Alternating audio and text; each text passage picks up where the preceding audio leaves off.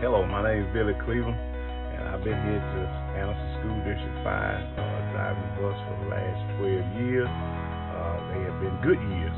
I've enjoyed myself. Uh, as I get ready to depart on Friday, uh, to start a new uh, journey of my retirement, uh, I think back uh, when I first came here, uh, and I often said that I wanted to be more than just a bus driver. So I hope that I have. Uh, I hope that I've touched the lives of uh, some, child somewhere, uh, uh, maybe those who have graduated or those who are coming uh, through the through the class with something I've said to them or encouraged them uh, to keep on doing what they were doing and keep on continuing their education.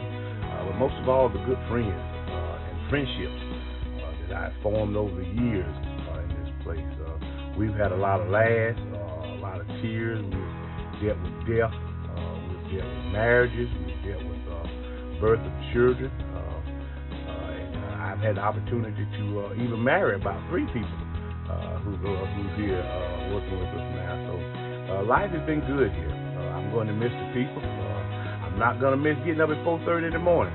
that's for sure especially not those cold, dark, rainy mornings.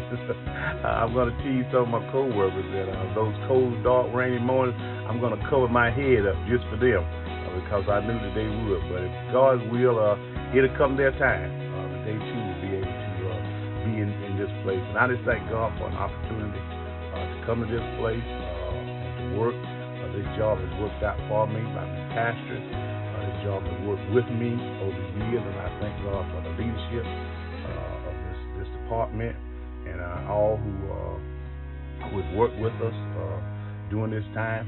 And I've I've enjoyed myself hope to look forward to uh, seeing them again on the road uh, as I pass by. Uh, and then from time to time, stick my head in and say hello. Uh, so God bless and have a, a good year uh, on next year. And thank you all.